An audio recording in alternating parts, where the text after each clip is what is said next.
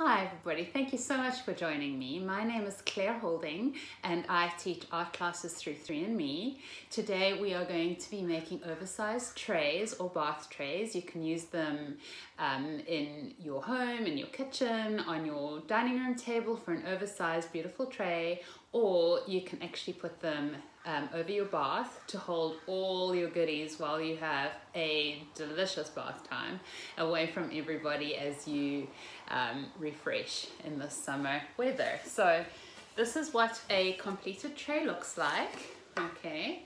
And you've each uh, received your art kit by now together with a, um, a tray that is put together, assembled, sanded, everything's ready to go. Um, and it's in the size that you ordered according to the width of your bathtub. But like I was saying, it doesn't necessarily have to go on your bath. It can go anywhere in your home. Um, in addition to that, you have the stencil that you chose. There will be two handles um, with four screws. So the screws are inside the packets. Make sure you don't lose them. It's hard to find replacements. Um, you have a sponge wedge, you have a um, sponge brush, and the two colors that you picked, one will be for the background and the other will be for the stencil work. And in addition, you're going to need uh, a paper plate, one for each color. Uh, you're going to need paper towels. I know I get very messy when I paint, so I need more than one. A ruler if you want to be exact, but you know, you can eyeball it as well. You'll need a screwdriver, a old credit card or gift card. And for those of you deciding to do a wood grain finish you will need water. Those of you who are not doing a wood grain but a more solid finish are not going to need any water for this project apart from to drink. So let's get along and uh, get this project going. I can't wait to see what you're all going to do with yours. You've all picked amazing stencils so I can't wait to see it Right, let's get going. I am going to show you how to do a wood grain um, on a spare piece of wood while I paint my tray in white. I've already got a couple in um, wood grain finish or in a like a mahogany or something like that so I don't need any more of that color so I'm going to do mine solid white but it's totally up to you what you're going to do with yours okay there we go Right, so the tray that I've assembled for you, I have sanded it um, and I've been very careful with that so that you don't have any rough edges. The, um, the cross pieces are got, meant to go at the bottom of your tray, okay, so that when you put it onto your bathtub it doesn't slip in, right? So this is what it's going to look like and eventually you're going to put your handles on the edges. Right, so I wanted to show you the solid color and then I'm also going to show you how to do a wood grain. Okay, so the only difference is the amount of water that you use. So protect your table. this can get messy. All right, so I'm going to go straight from my sponge brush into my paint. Um, if you want to have any paint left over, you probably don't want to go straight from the jar but there we go. The best way to do this, I find, is to use your sponge side on. Uh, that does help to smooth the color on a little bit more evenly. Okay, so let's get this layer of color on. Um, and you're also going to be painting all sides of this project. I would even do the bottom because you do want to protect that from moisture you don't want your bath bubbles to destroy this beautiful tray that you've made. So I absolutely love my bath trays. I have a couple of them already. And um, I love putting things on them, like a book, when I'm reading a book, or if I'm watching a movie, like right now Netflix. Um, or I put candles, maybe some champagne, or hot tea on a cold day. I just really, really love it. And then when I'm not using it, I let it dry out on over the bath. Um, or sometimes I just take it outside. But so far so good.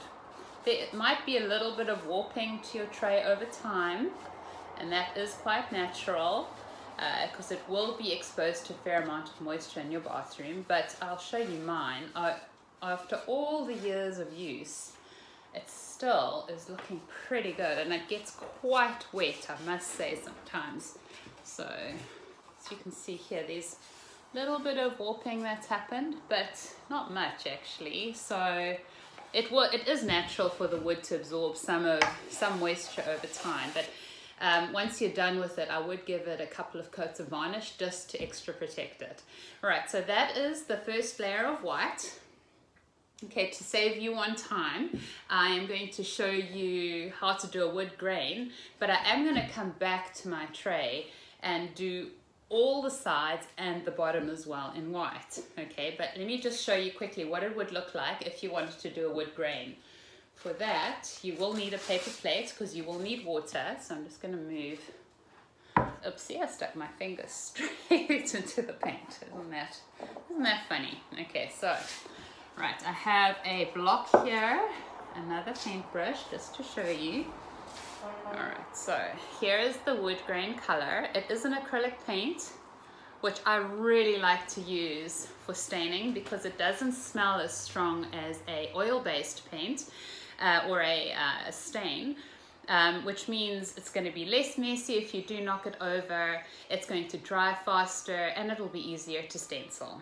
Okay, so I'm going to show you just on this random block how we're going to do a wood grain. You're going to need water for that, so you're going to dip your sponge brush into the water, make sure it's super wet, okay? So also have a paper towel close by for this. Right, so it's super wet. Now I'm going to dip my brush into my into my brown paint and I'm going to swish it around a little bit on my paper plate just to make sure that it's nice and diluted, a nice brown puddle, okay? And then also using your brush sideways, not, not lengthways like this, because it's just going to give you a less even finish. Sideways, you are going to smooth the brown color onto your tray. And your tray is obviously longer than this block, but I would use long, smooth motions for this, okay? See how pretty that looks already, all right? And then what I'm going to do is take a paper towel and just rub off the excess. Now, that has a dual purpose. One is that it's going to dry it faster, and two, what it'll do is it'll really push the color into the grain and you're gonna get a beautiful natural looking wood grain. Okay, doesn't that look nice? Now, if you do want to have your color a little bit deeper than this, you can do a second layer on top. And a nice fun effect as well, say um, over time you would like to have it colored, you can always paint over it and then it'll give you a really nice dimensional effect. Okay, so I am going to give you some time to paint your trays and I will see you back here in a moment when all your trays are busy drying so that I can teach you what to do with the next step. In your um, kit there were also written directions and there's also a um, link to the blog post where there are um, a couple of pictures that you can follow if you prefer to do it that way instead. But I do hope that you stay with me and I'll see you in a few minutes. Okay. Welcome back. I hope you had fun painting your tray. It is so satisfying to see it come together, isn't it? So um, my tray is fully dry and uh, you can check your tray as well by touching it and if no paint comes off on your hand, it is dry enough to um, do the next step if you did do the wood grain, there is more liquid involved with it because you've used water, so it might still be damp. In that case, either put a hair dryer on it or go grab another glass of wine or have another cup of tea while it dries. You absolutely need to make sure that it is bone dry before you move on to the next step. Stenciling can be tricky and I want to show you the absolutely best way to do this um, so that you have the best outcome. Um, you don't want the tray to be wet and then by adding the wet paint on top of that, you'll have a run. Okay, so let's do this. Your stencil, I've, I've given you each a um, one-time use stencil, so um, you're only going to use it this one time and then you're going to throw it away. So it comes in three sections. You've got a like a cardboard grid layer on the back and that is um, that is what you're going to peel off first and you've got a fibrous layer on the top which is keeping your delicate pattern together you see all these little inside bits okay these would come apart if you didn't have the fibrous top connective layer and then the black in between is the actual stencil. All right so what you're going to do is take a credit card or um, an old gift card and just rub your stencil all over front and back. And what that's going to do is it's going to move the stencil onto the connective layer okay you want to make sure that it's in the right place so that when you peel it it doesn't come apart okay there we go Right.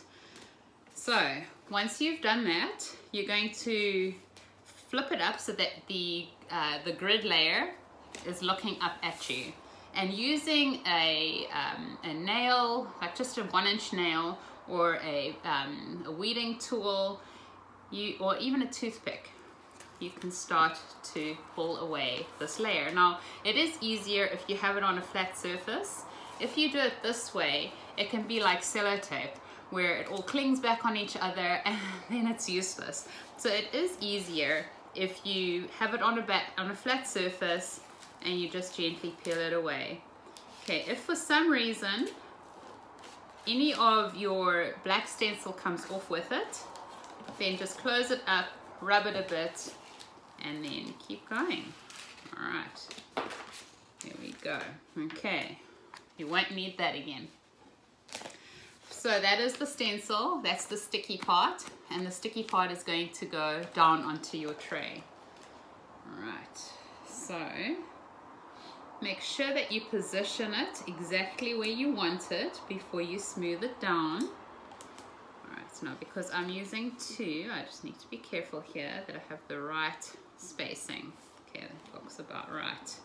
Okay, now with your hand, you're going to just gently smooth the stencil down okay especially in the spaces that you're going to paint what that's going to do is just going to make sure that there is a good seal between the stencil and the wood so that you get less run don't use a credit card or a gift card to scratch it down at this point because your freshly painted surface might get damaged when you remove the stencil. Okay so I've got that one on. And then what we're gonna do is using your picking tool or a, uh, a toothpick or a nail or your own nails, if your own nails are good, you're going to peel away the top fibrous layer of your stencil. Okay, here we go. And go slowly here, there's no rush. You don't want it to destroy your stencil. Uh, there we go. If any of the black stencil comes off with it, just close it up and smooth it down. All right, there you go. And voila, that's the first one done. Okay, so I'm going to do that with this side uh, while you put your stencil on. If you do want to make sure that it is completely even, you can use a ruler, and this is before you actually um, adhere it. Some of you um, might want to know, want to make sure that your stencil is equally placed, so you just use a ruler. For those of you who are using two stencils, you want to make sure that the gap between this line and this line is the same okay so depending on how long your tray is I changed the gap so that it would match with your tray okay so for mine for example this is one inch so I've got to make sure that these two stencils are one inch apart. All right, so I'm going to give you some time to put your stencils onto your trays and then we're going to meet up again and do the stenciling itself. So have fun and see you in five minutes. So was that fun? Welcome back. There's something about stickers, right? No matter how old you are, it's fun to work with stickers and these are just oversized. So for this for this part, you're going to need your sponge wedge and you're going to need the stencil color. All right, so uh, I've already decanted mine onto a paper plate. I would decant it out of the little containers just because you want to use very, very little paint for this. Less is more at this activity. Okay, so rather do two to three super duper thin layers than one that is too thick, otherwise your paint will run. So using the flat end of your sponge wedge, you're going to dip that into the color. All right, you're going to get rid of most of it. Okay, so just to show you here, you see how dry that is. It's super duper dry. You don't want to use too much paint. Okay, and then you're just going to blot on your paint color. And I would I would use um, a very thin hand with the with the first layer. Once that's dry, add another layer onto it. The first the first layer really is just going to dam up the um, the cut edges so that your paint in subsequent layers doesn't run underneath. So I'm going to do a little sample here to show you. Okay, there you go. I want to show you how thin this is. All right, can you see how thin that layer is? You can really see the wood grain through still, right? Okay, so I am going to continue doing that. This is really so fun. And remember, just wipe off the excess paint before you blot it on. I would do a blotting motion for, for the first layer. Thereafter, you can do more of a swiping, a swiping action. But for right now, just blot it on. This really is fun. Stenciling does tend to scare quite a few people. Um, I suppose it can go wrong in certain ways and you spend all this time making your tray and carefully painting it or whatever project you're doing and then you get to the stenciling and oh my goodness it went over the edges or it ran. But if you have as little paint as possible you should be fine okay so there we go. Another thing that you can do if your stencil edge is very close to um, the side use a bit of masking tape okay? Just masking tape it off just so that you don't go over the edges. I tend to get so excited when I'm stenciling and I'm not the most patient of people at the best of times and I want to rush through it and then when I come to removing to remove the stencil I see I've gone over the edges and oh you know you can always paint over it or whatever but um, prevent that and just use masking tape if you think it might be a problem okay so I'm going to do my whole board. There we go. I'm going to just show you this first part. And then I'm going to let you do yours. Okay, there we go. Now, remembering as well, your tray is made up of different sections. So you do have the joins between the boards, right? Now, in those joins, the paint will run if you use too much paint. So just be extra light-handed as you go over the joins. That's usually the place where most of the run occurs.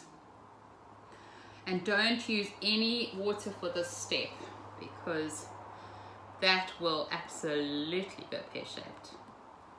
There are many ways to do stenciling. I find this is probably the best way to do it with a wedge like this, or you can use a sponge uh, sorry, you can use a, um, a hair, it's like a wild hair flat brush that you can buy at the craft stores. But this is a nice alternative. And you don't need to be too even with this first layer. As long as you have a thin coverage, you, you're going to go over it anyway with multiple different layers.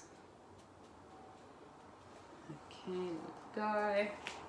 See, every time I recharge, I get rid of the majority of it, just so that it's not too wet. And don't depress your sponge too much. Don't rather use it like a stamp and not to squeeze the paint onto your wood. Every time you recharge, make sure that you wipe off the excess or just use the blotted section, right? Instead of going into the wet paint, I'm going onto the blotted areas.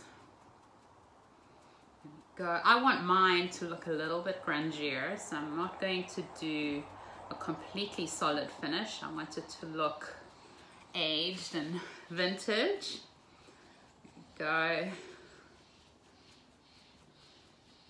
Especially if you have a smaller stencil, maybe just use masking tape around it to make sure that you're not going to go over the edges like I often do. Go blend that the hard, hard way. You know when you're painting a room, the masking of the room takes longer than the actual painting, but it's so worth it. Okay, there we go. Right. So once you've done the first layer, let it dry let it dry fully so that when you do your second and third layers, it's not going to pull up the first layer of paint. Okay, so I'm going to show you. So it's looking quite grungy and that's just because it's the first layer. All right, but I am going to go over it again. Um, you can always touch it. Oh, you see already it's dry. Okay, that's how you know that you've used enough paint. That once you've got through the first layer, the beginning is already dry. All right, so you guys do that. Stencil your tray and let it dry and I will see you as soon as you've done that. So just hit pause and we'll meet up again in a few minutes. All right, have fun. I hope you had as much fun as I did doing that. I really do love stenciling. The big reveal is coming up, so make sure your stencil is perfectly dry, so nothing should come off, just so that you don't inadvertently smudge something, um, and then we're good to go. I can't wait to see how mine turned out. I've wanted it a little bit grungier, so I don't know. Let's hope for the best. Just if you do find that some has run a little bit underneath, it's okay. There are ways to fix it, but also remember this is made with your own precious hands. You didn't buy it in a store, so it just has to be fun, right? Okay, so with a bigger stencil, I often find it easier to start picking from the inside. So you can either use a nail or a picking or weeding tool or even a toothpick for this. It does make it a little bit easier. So if you go from the inside out, it does sometimes make it a little bit easier. Okay, so I'm just going to start removing this. Oh, I'm quite excited. It's starting to look good. This is looking good. There we go. Sometimes the black stencil looks so pretty that you don't actually want to take it off, right? There we go. Okay. Ah, that's looking good. What about you? What's yours looking like? Please do share with me when you're done with yours. I would love to see how yours all turned out. That's what I miss in teaching the classes in person. I miss the person contact, but I also miss seeing what everybody's artworks turn out like. I'm often so inspired during classes, you know, I start doing my, my art in a certain way and I get in a rut and then it's always good to see what others come up with, all the different new ways, new color combinations, things I might not have thought of before. Uh, I am liking this. Every now and again I've done something and it hasn't worked out and I've had to sand it all off and start over. Um, but it's always fun. I hope yours turning are turning out too. I really do. I miss seeing you all. I miss being there in person and chatting to you and answering your questions, hearing your beautiful stories. There we go. Okay. Almost done on mine. How are you coping on yours? Right, There you go. This is like stickers again. No matter how old you are. Oh, that is so nice. It's like when you take the masking tape off after you've painted a part of your house. The big reveal. Oh, there we go. I like how it turned out.